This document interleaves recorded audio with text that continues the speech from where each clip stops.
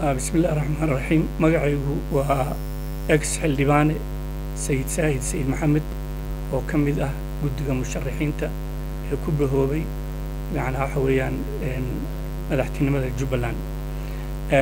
Haddaan u soo noqdo macnaa wax yar haddaan ku daro macnaa tii macnaa guddoomiyuhu uu sharxay ay ahayd istiraatiijiyada maxaa macnaa markii uu doorashada dhacday kadib maxaa istiraatiijiya u haysaan istiraatiijiyadu waxa weeyaan inaan qofka ku soo baxa xataa axmed islaam hadduu noqdo inaan la shaqayno.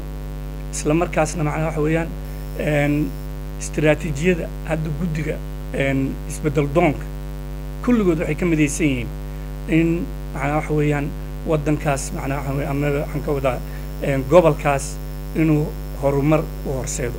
Sababtoo gobol barwaaqa waa gobol macnaa waxa weeyaan meesha keliya soomaaliya laga masruufi karaa waa gobolka macnaa ugu qanisan marka waxa weeyaan gobolkaas horumar la'aanta ka jirta inaan ka saarno ayuu qof kasta oo musharaxa uu uu macnaa wadaa.